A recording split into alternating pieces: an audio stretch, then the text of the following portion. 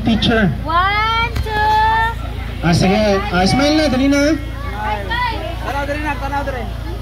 Di makita ang uban. Yung gusto magpa-picture dito sa hara, Dito, sa, sa sa backdrop natin, pwedeng pwede po, okay? Bakante.